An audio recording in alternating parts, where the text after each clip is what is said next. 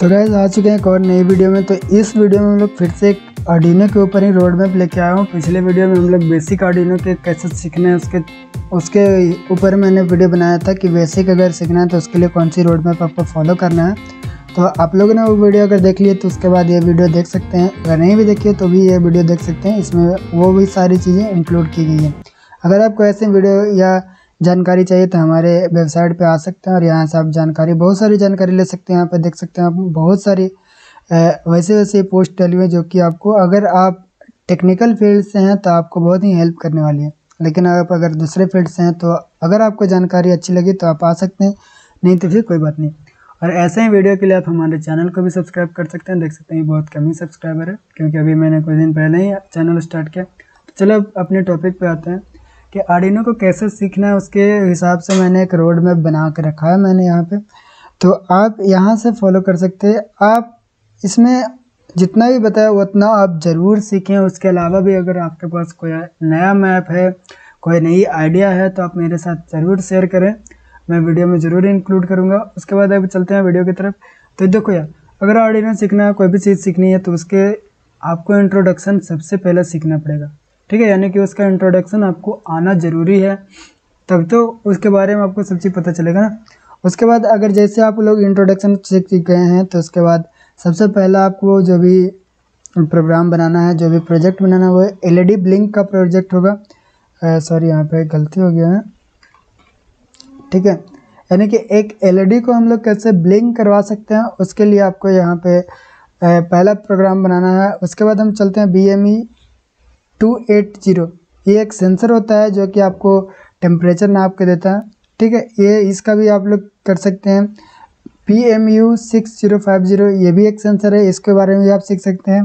Compass and magnetometer भी आप सीख सकते हैं, यानी कि कंपास को हम लोग कैसे बना सकते हैं, उसका मैग्नेटोमीटर कैसे बना सकते हैं, ठीक है? इस तरह से आप लोग आर्डिनो के अंदर सीख सकते हैं। Eight cross eight L L E D matrix display इस तरह का जो डिस्प्ले होता है, उसके बारे में हम सीख सकते हैं। अगर आपको नहीं समझ में आ रहा है कि मैं कौन सी डिस्प्ले की बात कर रहा हूँ तो अगर मैं इसको सर्च करके दिखाऊँ तो आपको पूरा अच्छे से समझ में आएगा कि हमको सीखना क्या है इसमें। ठीक है? तो देखो यार, इस तरह से एक डिस्प्ले होती है, जिसमें कि एट क्रॉस इधर से भी आठ और इधर से भी आठ एलईडी होती है, या फिर इसको एक बल्ब बोल लो, ये बल्ब होता है, और इसमें आपको प्रोग्रामिंग करके आपको कैसे कोई भी सेप बनाना है, कोई भी लेटर लिखवानी है, अगर मान लो कि यहाँ पे सी लिखना है या फिर यहाँ पे ए लिखना है तो हम लोग क्या कर सकते हैं? ये सारी लाइन की एलईडी यहाँ तक जला देंगे, फिर यहाँ से यहाँ तक जला देंगे, फिर यहाँ से यहाँ तक जला देंगे, फिर यहाँ से यहाँ तक जला देंगे और फिर वो जो एलईडी है उसके बीच में ये चारों जला देंगे। ठीक है तो इस तरह से ए लिखा जाएगी। तो आपको इस वाली एल में एलसीडी में आपको यही सीखना है कि इसके अंदर हम लोग कोड कैसे करेंगे और कौन अपने हिसाब से इसमें कोई भी शेप कैसे बनाएँगे? अब मान लो कि एक स्माइली का चित्र बनाना है तो इस तरह से हम लोग गोल बनाएँगे, उसमें यहाँ पे दो जला देंगे और इसमें इस तरह से जला देंगे। ठीक है तो इस तरह से हो सकता है, आप लोग ट्राई करेंगे ठीक है, अब चलते हैं आगे। फिर एलईडी स्ट्रिप है। तो देखो यार, इसके बारे में भी आप लोग जानते होंगे कि दिवाली में जो भी एलईडी स्ट्रिप हम लोग लाते हैं, वो कैसा होता है? और इसके बारे में मैं अगर थोड़ा सा बताऊँ एक मिनट इमेज पे चलते हैं और उसके बाद देखते हैं कि एलईडी स्ट्रिप्स कैसी होती है। तो देखो यार, ये जो स्ट्रिप है ना, इसी को हम लोग बात कर रहे हैं। तो इसका भी हम लोग प्रोग्रामिंग करके क्या कर सकते हैं कि इसमें जो भी बहुत सारे इफ़ेक्ट डाल सकते हैं। अभी अगर जलाओगे तो आप सिंपल सा एक कलर का जलते रहेगा, लेकिन अगर आप हम लोग इसको आर्डिनो के साथ जलाएँ तो हम लोग ऐसा कर सकते हैं कि ये इस तरफ़ से जलते जलते जाए, जलते जलते जाए। ठीक है? तो उस तरह से हम लोग बना सकते हैं। या फिर इसको हम ऐसा भी कर सकते हैं कि एक लाइट जले एक लाइट बंद रहे, एक लाइट जले, एक लाइट बंद रहे। तो इस तरह से भी कर सकते हैं, ठीक है? आप जिस तरह से आप इफ़ेक्ट बनाना चाहते हो, उस तरह से कर सकते हैं। डीसी मोटर के बारे में हम लोग सीख सकते हैं स्टेपर मोटर के बारे में सीख सकते हैं। स्टेपर मोटर के ऊपर हम लोग ने वीडियो शायद बना चुका है, वो वीडियो आप देख सकते हैं। उसके बाद एक वाईफाई है, उसके बारे में आप सीख सकते हैं कि आर्डिनो को वाईफाई के थ्रू कैसे कंट्रोल कर सकते हैं, उसके लिए आपको एक मॉड्यूल होना चाहिए, उसको आप यहाँ पे लगा सकते हैं, ठीक है? एच सी ज़ीरो सिक्स भी सीख सकते हैं। अगर मैं यहाँ पे एच सी ज़ीरो सिक्स के बारे में मैं यहाँ पे दिखाऊँ आपको तो देख सकते हैं कि ये इस तरह से एक मॉड्यूल होता है जिसमें कि वाईफाई भी होती है और इसके, इससे हम लोग वाईफाई के द्वारा कनेक्ट कर सकते हैं। मतलब जो आर्डिनो है, उसको वाईफाई भी बना सकते हैं और उसके द्वारा हम लोग चला भी सकते हैं। ठीक है? यानी कि अगर आपको आर्डिनो में वाईफाई की ज़रूरत हो तो एच सी ज़ीरो सिक्स के बारे में आप लोग जानना चाहिए, ठीक है? उसको आना चाहिए। उसके बाद चलते हैं आगे की अगला कौन सा हम लोग का? फ्लैक्स सेंसर सीख सकते हैं। तो पिछले वीडियो में मैंने नहीं बताया था कि फ्लैक्स सेंसर होता क्या है तो मैं इस वीडियो में बता देता हूँ कि फ्लैक्स सेंसर काम कैसे करते हैं। अगर मैं, देखो यार, यहाँ पे एक फ्लैक्स सेंसर सीधा है, लेकिन यहाँ पे देखो जैसे ही इसको टिल्ट करा गया है ये यहाँ पे मोड़ा गया थोड़ा सा तो इसको जैसे मोड़ेंगे ना इतना तो वो बता देगा कि हाँ भाई कितना फ्लैक्स सेंसर मुड़ा है। और इसके हिसाब से हम लोग कोई भी रोबोटिक्स हैंड बना सकते हैं, यानी कि वो जब वही फिंगर मुड़ेगी तो हम लोग को बता देगा कि हाँ कौन सा फिंगर कितना मोड़ा गया और उसके हिसाब से हम लोग कोई भी ऑब्जेक्ट को टिल्ट कर सकते हैं। ठीक है? उसके बाद रोटरी इनकोडर है, जिस तरह से पोटेंशियोमीटर होती है, उसी तरह से रोटरी इनकोडर होता है। उसके बारे में हम लोग सीख सकते हैं। कीपैड के बारे में सीख सकते हैं। अगर हम दिखाएँ कि कीपैड क्या होता है तो एक कीपैड करके मैं आर्डिनो लिखूँगा ताकि आर्डिनो वाली कीपैड दिखाए। ठीक है तो देखो यार, इस तरह से ये कीपैड है। इसके बारे में आपको सीखना पड़ेगा कि जब हम लोग यहाँ से वन दबाएँ तो हमारे जो आर्डिनो है, उसके अंदर वन कैसे जाएगा। ठीक है, इसके लिए आपको थोड़ा सा सीखना पड़ेगा, थोड़ी सी प्रोग्रामिंग सीखनी पड़ेगी। ज़्यादा हार्ड नहीं है, लेकिन आप सीख सकते हो। ठीक, चलो आगे आते हैं। T F T one eight ठीक है? One point eight sorry T F T one point eight E भी एक तरह का मतलब मॉड्यूल ही है और इसके बारे में आपको सीखना ज़रूरी है। मैं अगर दिखाऊँ इसको, कि कैसा होता है। मैं इसलिए दिखा रहा हूँ ताकि आप एक विजुअलाइज कर पाएँ कि किस तरह की ये जो डिस्प्ले है, वो आप लोग काम कर सकते हैं। ठीक है? तो देखो यार इस तरह के डिस्प्ले है, आप इस पर कुछ भी प्रिंट करवा सकते हैं खुद की मन से। देखो, यहाँ पे अगर मैं दिखाऊँ कि एक बंदे ने यहाँ पे बनाया भी है ठीक है? इस तरह से आप लोग भी बना सकते हैं और इसमें पूरा एक मोबाइल का फील ला सकते हैं। ये नहीं मैं कर रहा हूँ कि मोबाइल बन जाएगा, लेकिन आप चाहें तो मोबाइल बना सकते हैं। जैसे कि, देखो यहाँ पे एक बंदे ने यहाँ पे कीपैड बनाया भी है और इस तरह से वो चला भी रहा है, ठीक है? तो इस तरह से आप लोग भी बना सकते हैं। तो इसको हम लोग बोलते हैं T F T one zero one point eight ठीक है? उसके बाद वही है ओलेड डिस्प्ले है।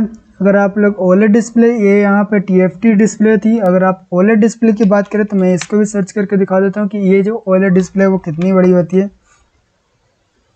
तो आप सक, देख सकते हैं वो जो हम लोग अभी टी एफ़ टी डिस्प्ले देखे थे उससे बहुत ही छोटी ये डिस्प्ले होती है। और इसके बारे में हम लोग को जानना ज़रूरी है। अगर आप लोग कोई वैसे डिवाइस बना रहे हैं जिसमें एक स्क्रीन हो तो आप इसके बारे में ज़रूर सीख सकते हैं। और ये छोटी सी स्क्रीन होती है। आपके ज़रूरत के हिसाब से ये फिट फिट हो जाएगी। सेवन सेगमेंट डिस्प्ले के बारे में भी सीख सकते हैं। अगर आपको कोई भी डिजिटल क्लॉक बनानी है तो आपको सेवन सेगमेंट डिस्प्ले के बारे में ज़रूर से आना चाहिए, जो कि इस तरह से रहता है। आप लोग ने बहुत जगह देखे होंगे, कोई भी घड़ी में लगा हुआ रहता है। आपने अगर ली होगी तो देखा होगा। ठीक है, इस तरह का जो भी डिजिट अगर आपको कोई भी प्रिंट करवानी है तो इस तरह से आपको सेवन सेगमेंट डिस्प्ले के बारे में सीखना पड़ेगा। ठीक है? इसके बाद आते हैं नियन पिक्सल एलईडी तो इस पर भी हम लोग देख लेते हैं कि नियन पिक्सल एलईडी क्या होती है। वो भी इसी तरह के एलईडी स्ट्रिप्ट है जो कि आपको मैंने पहले बता चुका हूँ। और सर्वो मोटर के बारे में भी हम लोग सीख चुके हैं कि सर्वो मोटर पिछले वीडियो में मैंने बताया था कि सर्वो मोटर कैसे आ, काम करता है और इसको कैसे सीखना है। देखो मैं अगर सही पिक्चर दिखाऊँ तो सर्वो मोटर का आ, मैं एक जिप ला के दिखाता हूँ एक मिनट। उससे आपको पूरी समझ में आ जाएगी। ठीक है ये देखो यार। ये जो सर्वो मोटर है वो क्या करता है कि सिर्फ़ ये 180 डिग्री तक जाएगा फिर वहाँ से वापस आ जाएगा। ठीक है सर्वो मोटर ये नहीं कि आपको गोल गोल घूमते रहेगा। ये नहीं तीन सौ साठ डिग्री नहीं घूम सकता। ये बस इतना जाएगा और इतना ही आएगा। तो अगर इस तरह से आपको कहीं पे नीड है तो वहाँ पे लगा सकते हैं आप। ठीक है उसके बाद हम लोग चलते हैं नेटवर्किंग इथरनेट सील्ड इसके बारे में अभी आप लोग सीख सकते हैं, अगर मैं इसके बारे में दिखाऊँ। तो ये भी एक तरह का आर्डिनो के जैसा ही किट होती है, जिसमें कि इथरनेट जो भी केबल होता है, उसके द्वारा हम लोग भी कोई भी कोड को मतलब इंपोर्ट करवा सकते हैं और इसमें उसी तरह से यूज़ कर सकते हैं। इसके ऊपर भी एक वीडियो आएगी। एक नहीं, बहुत सारी वीडियो आएगी इसके ऊपर, क्योंकि ये बहुत ही अच्छा चीज़ है। तो हम लोग उसके बारे में भी सीख सकते हैं। शिफ्ट रजिस्टर के बारे में भी सीख सकते हैं। अगर मैं यहाँ पे दिखाऊँ शिफ्ट रजिस्टर मैं यहाँ पे इमेज दिखाता हूँ। देख सकते शिफ्ट रजिस्टर कुछ इस तरह से होता है।